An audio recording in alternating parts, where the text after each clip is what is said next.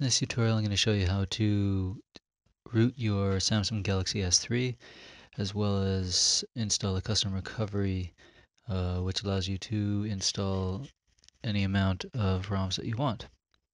So the first thing you're going to want to do is put it into the download mode which is done by holding the volume down button, the home button, and the power button at the same time. You'll see the screen pop up prompting you that this is dangerous. Make just press the volume up button to continue.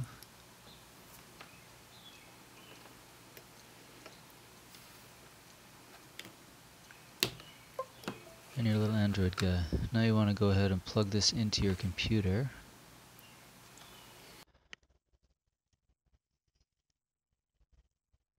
Your computer should recognize it. If your computer doesn't recognize it, that means you need the USB, uh, Samsung USB driver tools, uh, which I'll show a link in the bottom. Once it's connected, open up your Odin and you should see that it is connected there with a COM status. Now you're going to want to open up your CF Auto Root uh, by clicking on the PDA button. Find your CF Auto Root folder file that you wanted to upload that matches your phone.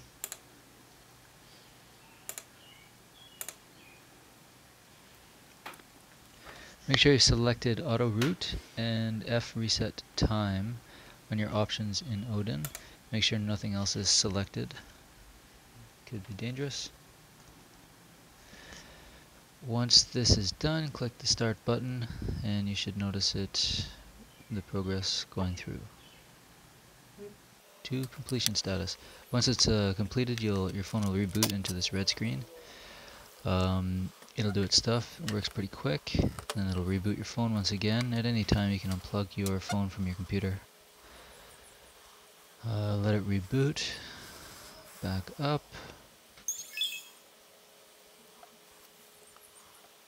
It'll, it'll run through some standard upgradings. Um, but now you should notice that you have a Super SU icon in your apps menu. Uh, if this exists, it means you're rooted, which is a great thing. You can go in there and check it out if you want. To go forward with this, you have to make sure that your Wi-Fi is turned on, as it will have to access the internet.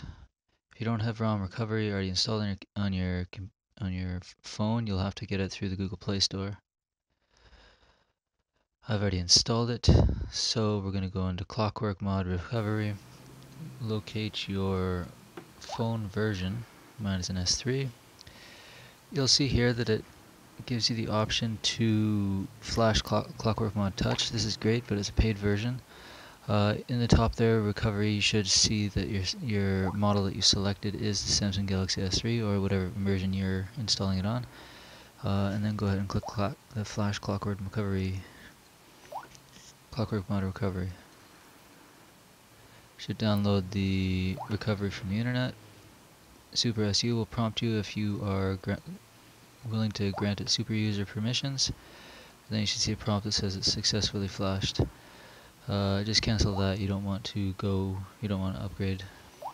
Now you can reboot into recovery, um, which can also be done by turning off your cell phone and holding the volume up key while the while holding the home key while turning the, the machine on the, the smartphone on.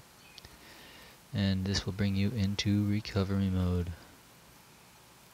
Here you can install your zip. Make sure that you um, clean your cache and your partitions properly according to the policy procedure below um, so that there's not any residual files left in your in your hard drive when you're installing your new ROM. It can cause some conflicts. That's it. Good luck.